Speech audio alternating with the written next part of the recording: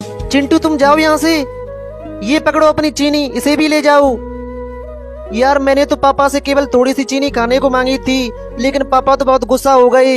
इस चीनी को पॉलीथिन में भर देता हूँ, और इसमें से थोड़ी सी मैं भी खा लेता हूँ। इस चीनी को दरवाजे पर रख देता हूँ, और अपनी टोकरी को लेकर खेतों पर चला जाता हूँ। देखता हूँ चिंटू कहाँ है। यार, चिंटू तो चीनी को रखकर यहाँ से चला गया। इस गेट को लगाकर मैं भी चला जाता हूँ। जल्दी से अच्छी अच्छी गाजर खोदकर अपनी टोकरी में रख लेता हूँ। यार, ये तो निकल ही नहीं रही है। अरे, निकल आ। अरे, बंटी, इधर आ। अब मैं इस टोकरी को लेकर घर चला जाता हूँ। पापा, मैं आ गया। ये लो बंटी बेटा। इसे भी लो। अंकल जी, मुझे तो ये सारी कैंडी चाहिए। हाँ बंटी बेटा, सारी ले लो। यार, पापा तो अब बंटी से प्यार करने लगे।